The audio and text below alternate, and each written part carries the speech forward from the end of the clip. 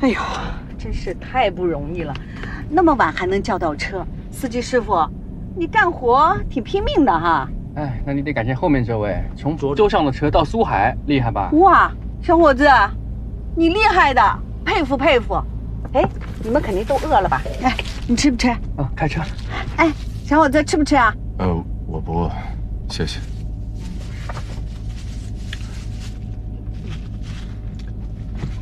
嗯，小伙子，你那么远那么赶，是不是因为爱情啊？你不说就肯定是的啦。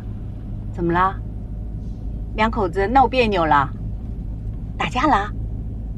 哎呦，看你这岁数，应该有孩子了吧？为了孩子，你也得忍呐。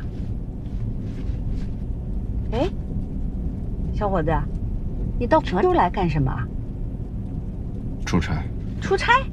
哎，我也是来出差的。哎，我这次啊是到涿州来签一个呃饲料合同。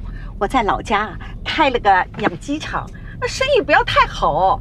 我在我们老家怎么样也算是一个小小的企业家啊。哎，当时啊我老公追我的时候穷，他怕我看不上他，然后呢又没钱给我买礼物，悄悄的去学习织毛衣。哎，你看这件。就是他给我织的，好看吗？哎，小伙子，好看吗？我知道你们有钱人是看不上的，但是我觉得好看呀。我穿了好多年了，都舍不得扔。我还是觉得我老公给我织的这件毛衣暖和，真暖和。小伙子啊，两口子过日子呢。就是你对我好，我对你好，你喜欢我，我也喜欢你，能够多见面就多见。你干嘛突然对人家这么好？不过我们老板现在，就是你对我好，我也会对你好。你要是想吃，你就到我家来随便吃，免费的。我担心你就像梦一样消失了，突然间世界空了。我最惧怕，你要不要来一个？我最惧怕，所以就紧紧的围绕你呀。就在此刻，星月亮落下不见，从未改变，诚心许愿，就是希望你围绕我身边，直到太阳升起。生命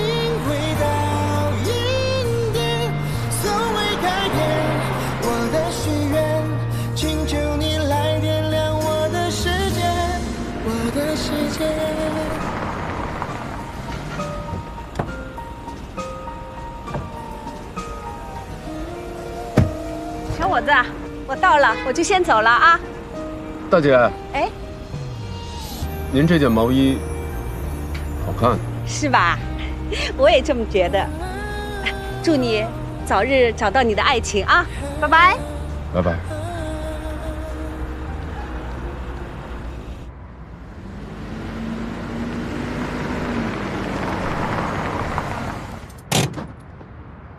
哎，大哥。哎，醒醒，大哥。到了。嗯。到了是吗？这是哪儿啊？苏海啊！什么？不过我这车啊，进不了市区，车牌不对，那个只能把你送到这儿。啊，等会儿，这不是我要去的地址，你要把我送到我去的地址。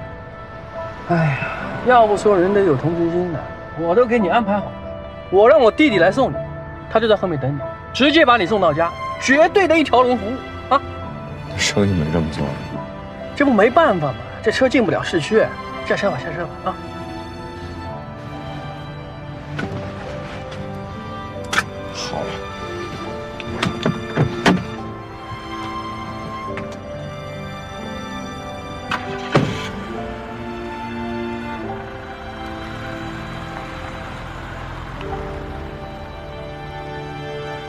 哎，哥们儿，哥们儿，哥们儿。是你不？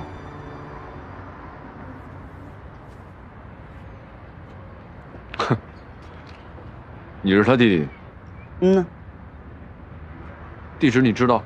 我知道，他负责进郊区的行程，我负责进市区行程，走还是不走？咋这么磨叽呢？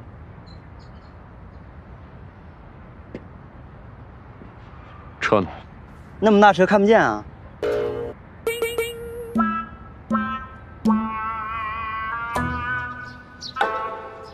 慢点啊！好，小心小心。嗯，没事。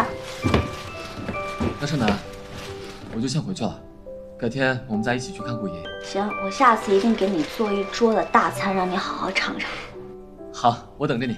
那我走了，注意安全。嗯。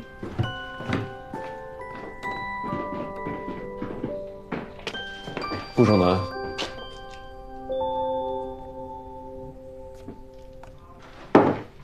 那个程什么？程子贤，我不需要你提醒我，他为什么会送你回家？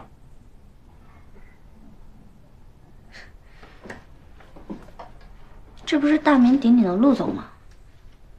这是怎么了？没时间吹头发呀？我昨天晚上出了点状况，你别跟我打岔。我问你，为什么程子贤会送你回家？跟你没关系。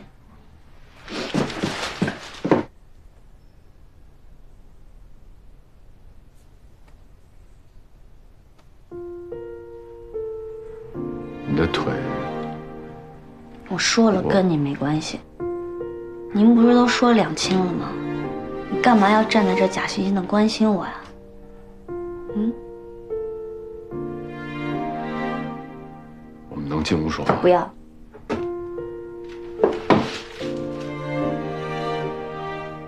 陆总，是您说的再也不来这儿吃饭了。也是，你这个人打脸打上瘾了。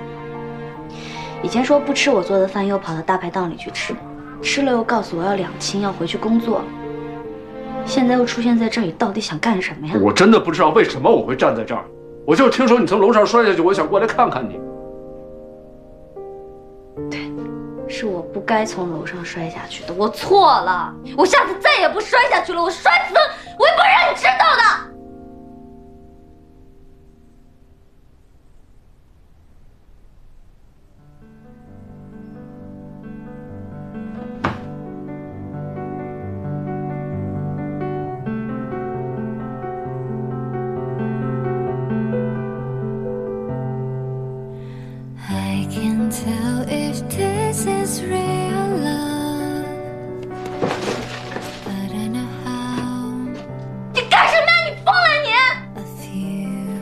对不起，